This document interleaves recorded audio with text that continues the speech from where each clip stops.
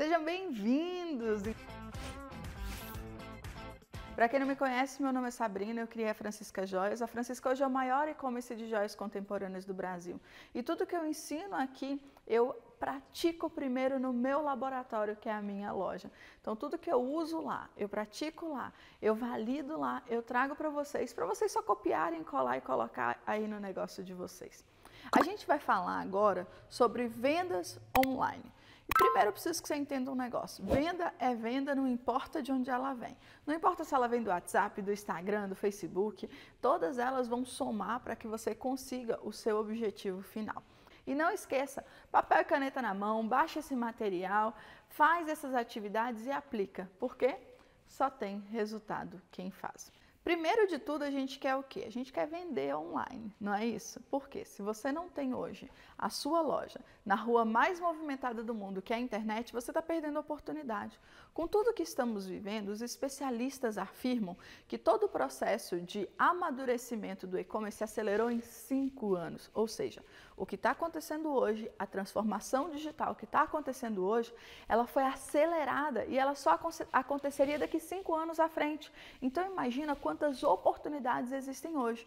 Várias empresas que estavam com presença digital sólida, assim como a minha e de todos os outros alunos que eu tenho, incluindo o pessoal da mentoria, são empresas que tiveram um crescimento significativo das vendas em abril e maio. Por quê? As pessoas estão mais na internet, as pessoas estão consumindo na internet. Outro dado importante é que a cada 100 pedidos que são feitos na internet, 30 pedidos são de pessoas que nunca haviam comprado na internet. Ou seja, existe 30% de novos clientes na internet. E existe uma grande parcela de empresários que estão com seus negócios parados, estão com lojas fechadas, com dificuldade de venda, porque não se prepararam para essa transformação digital. Melhor momento para você ter uma loja online foi ontem. O segundo melhor momento para você ter uma loja online vendendo, escalando, tendo resultado, gerando lucro para você é hoje. Vamos lá. Uma coisa que eu preciso que vocês entendam é que quando a gente vai vender, você normalmente ou você não tem meta, e quando você não tem meta, já dizia lá, né, a Alice no País das Maravilhas, para onde você vai? Ah, eu não sei. Se você não sabe para onde vai, qualquer lugar serve. Então, se você não tem meta, você não tem um objetivo, você não sabe onde você vai chegar, você não sabe o que você quer conquistar. E quando você não tem um objetivo, você não tem, eu chamo de um objetivo audacioso, grande, cabeludo, qualquer número vai servir para você. Então, eu quero primeiro que você aprenda a calcular a sua meta, o seu objetivo nesse aulão. E em seguida, eu vou te ajudar, eu vou te ensinar durante toda a maratona da loja online a chegar no seu objetivo. Vamos imaginar que o seu objetivo, Guilherme, prepara a calculadora aí para você me ajudar com os números, tá bom? Vamos imaginar que o seu objetivo na semana da loja online, nessa maratona que a gente está vivendo aqui, seja vender 30 mil reais no mês de maio. Vamos supor que é maio e você quer vender 30 mil. Então a sua meta é 30 mil. A gente tem no mês de maio 30 dias. Então, se a gente dividir 30 dias por é, 30 mil, vai dar mil reais de venda por dia. Então, você já sabe que a sua meta diária é mil reais. Eu não sei se você sabe qual é o seu ticket médio, mas eu vou te ensinar a calcular o seu ticket médio agora, tá? Ticket médio é o valor médio que você vende para cada cliente. Você vai pegar aí as suas últimas 10 vendas, vai somar todas elas e vai dividir por 10 em seguida. Então vamos imaginar que o seu ticket médio, né, que o valor que em média as pessoas compram de você seja 150 reais. Acho que é um bom ticket médio, né, 150 reais. Então independente de qual seja o seu produto, o seu segmento, se você vende roupa, calçado, lingerie, roupas fitness, roupas infantis, se você vende decoração, se você vende qualquer que seja o produto, você vai embalar e vai enviar pela internet, não importa qual seja, vamos supor que o seu ticket médio seja 150. Então, vou colocar aqui, ticket médio, 149 reais. O meu ticket médio na Francisca Joias é 189, tá? Só para você ter uma ideia. Cada negócio vai ter um ticket médio. Cada negócio tem suas particularidades. Então, pode ser que o seu ticket médio seja maior. Eu tenho alunas é, que têm ticket médio extremamente alto e tem alunas que têm ticket médio menor que isso aqui. Então, eu estou pegando 149, que é uma média. Mais uma vez, como é que você calcula isso? Soma as suas 10 últimas vendas e divide por 10. Ou soma as suas 30 últimas vendas e divida por 30. Então, você vai somar as vendas e dividir pelo número de vendas, o número de clientes que você atendeu, que você vai chegar nesse número.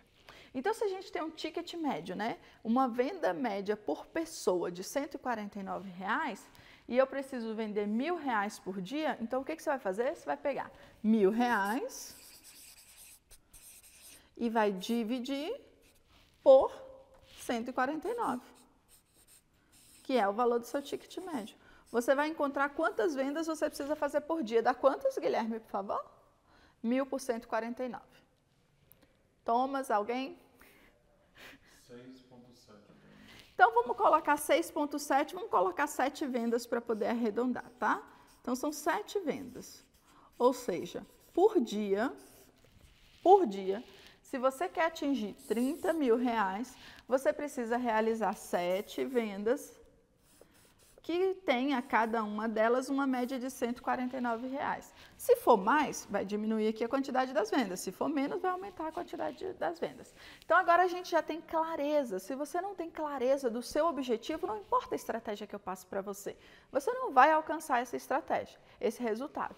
Então você tem clareza do seu objetivo, que são sete vendas por dia durante 30 dias para poder vender 30 mil por mês e essas vendas têm que ter um valor médio de 149 reais. Ah, Sabrina, e se eu vender mais? Tudo bem, vai diminuir aqui o número de vendas. Se eu vender menos, vai aumentar o número de vendas. Agora eu vou te ensinar como você vai fazer essas sete vendas por dia de 149 reais para a gente alcançar esse resultado aqui de 30 mil por mês, que é o que você espera, tá? Então vamos lá. Se a gente quer vender sete vendas por dia, a gente precisa. Deixa eu colocar aqui na a gente precisa pensar em quais ferramentas você vai utilizar para isso. E a gente pode pensar hoje no Instagram, por exemplo. Por quê? É, vou colocar aqui o Insta. Ou WhatsApp.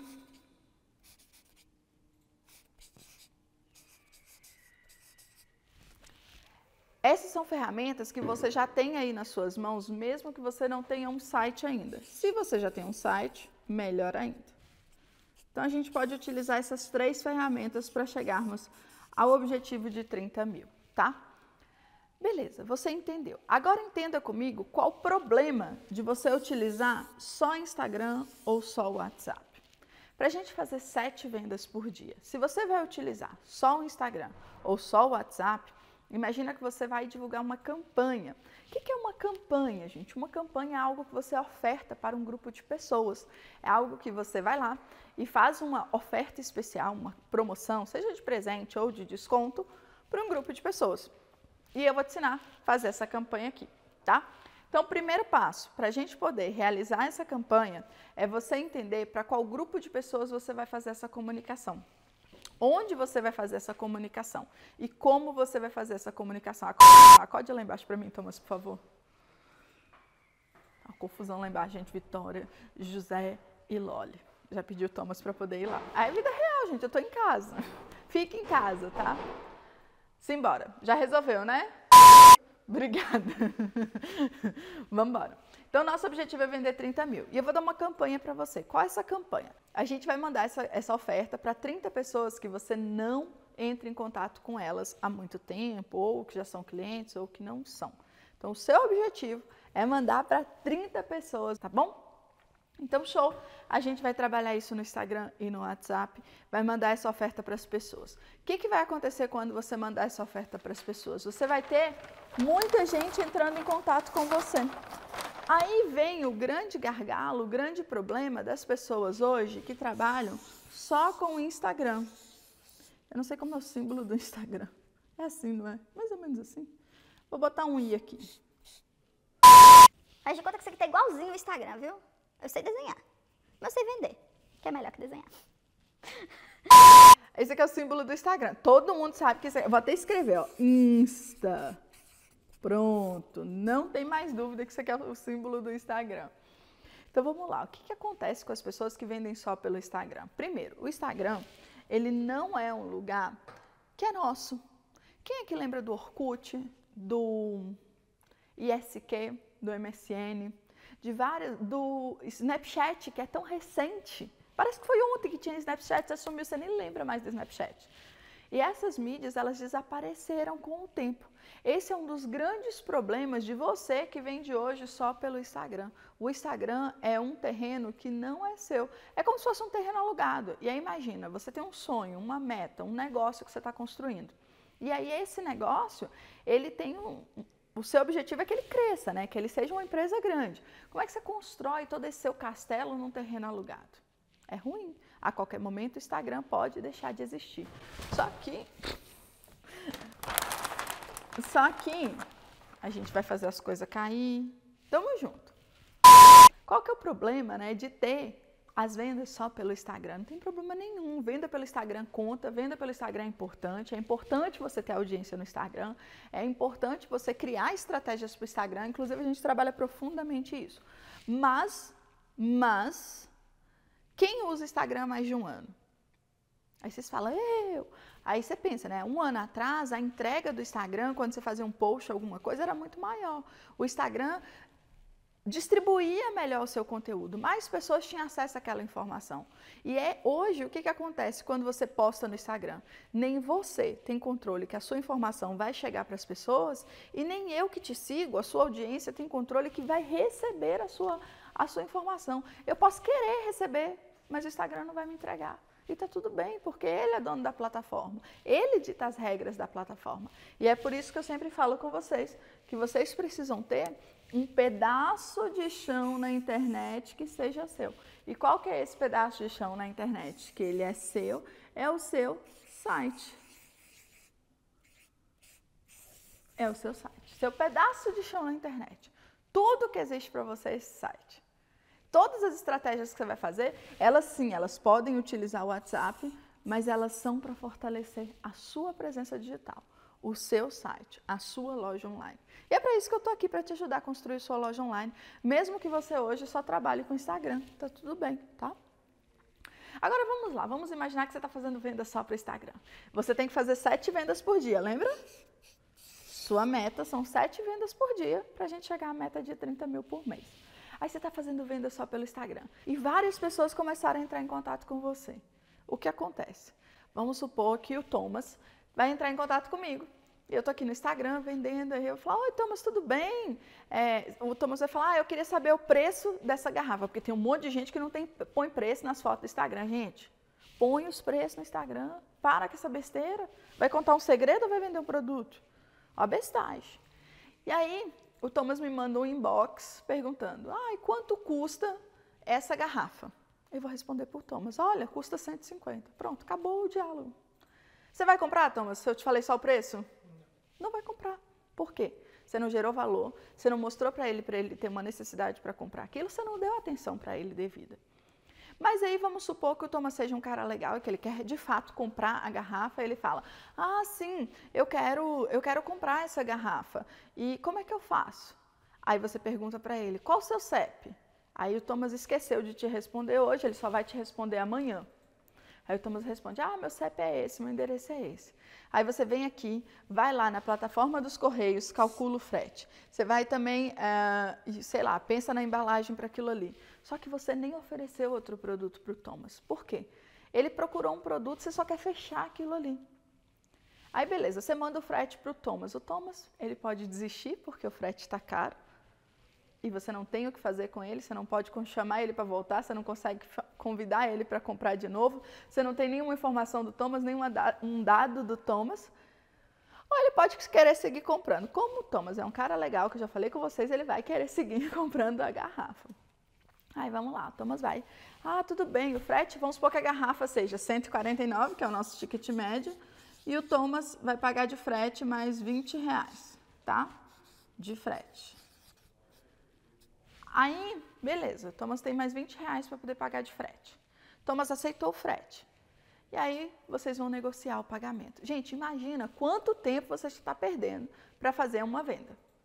O Thomas, que é um cara legal, ele está decidido a comprar, ele vai aguentar tudo isso. Mas imagina se é o Guilherme. Gente, Guilherme é terrível. Guilherme ele gosta de praticidade. Ele não gosta de ficar com morosidade para as coisas acontecerem. Nesse processo aí de vai e vende, calcula frete, de, de, de pensa no produto, e olha que a gente, o Thomas nem teve dúvida da cor. E olha que o seu produto nem tem, que, nem tem tamanhos. Imagina se o seu produto é anel, que tem tamanho. Ou se é sapato, que tem tamanho. Ou se, é, ou se você tem várias cores e que gera dúvida no seu cliente ou no seu potencial cliente. Então, por exemplo, o Guilherme. O Guilherme tem um perfil de compra diferente. O Guilherme ele gosta de agilidade, de praticidade. O Guilherme ele deixa de comprar na sua loja porque você não tem site. O Guilherme ele deixa de comprar na sua loja porque lá no perfil do seu Instagram, ao invés de ter na biografia o link, seja para o seu site ou para o seu WhatsApp, você colocou lá números.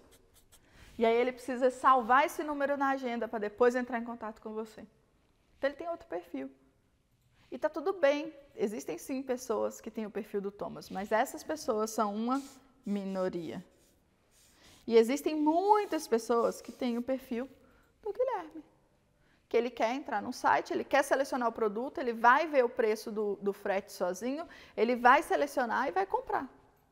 Já o Thomas ainda nem pagou, porque você ainda tem que ir no link de, de cobrança e mandar uma cobrança para o Thomas, para que ele pague. Vamos supor que você mandou o link de cobrança para o Thomas, para ele pagar os 169 reais. Thomas esqueceu de você. Era sábado. Ele foi para a balada, voltou só segunda. Você perdeu mais dois dias de venda. Nesse processo de venda para o Thomas, já se foram seis dias. Ou seja, você gastou seis dias para fazer uma venda que poderia ser feita em cinco minutos. Se você tivesse um site, se você tivesse tudo automatizado. Aí beleza, Thomas voltou depois de seis dias, realmente comprou, pagou, porque ele queria aquela bendita garrafa. E aí o que, que acontece? Thomas começa a encher o raio do seu saco para que você mande o rastreio. Cadê o rastreio? Cadê o rastreio? Aí depois que você envia o rastreio, só atualiza no dia seguinte. Thomas está louco achando que você não enviou o produto ainda. Por quê? Vendas pelo Instagram não são seguras. As pessoas não se sentem seguras. E acabou a venda. Thomas vai receber não vai receber um e-mail seu, não vai receber um WhatsApp, não vai receber uma comunicação, porque você não pegou nenhum dado, nenhuma informação do Thomas. Agora vamos analisar a mesma coisa com o Guilherme. O Thomas, quando ele comprou a garrafa, ele estava navegando no Instagram e viu a garrafa, tá? O Guilherme não. Ele sabe que ele precisa de uma garrafa. Ele foi lá no Google, digitou garrafa térmica e achou uma garrafa. Ele entrou no site, ele viu as garrafas que tinha, ele viu as cores, ele viu os modelos, ele viu os tamanhos, ele colocou uma no carrinho. Ele viu que se ele levasse duas, ele tinha frete grátis, então ele colocou duas, ou seja, já aumentou o ticket médio. No caso do Guilherme, ele está levando duas. Já vai para quanto? 149 mais 149? 300 reais logo. 298. Né? Aí ele vai ter o frete grátis, então ele não vai pagar frete. Aqui é frete, tá? Ele vai ter o frete grátis, então ele foi motivado. Só que para chegar aqui no carrinho, o Guilherme já deixou nome, todos os dados dele com você.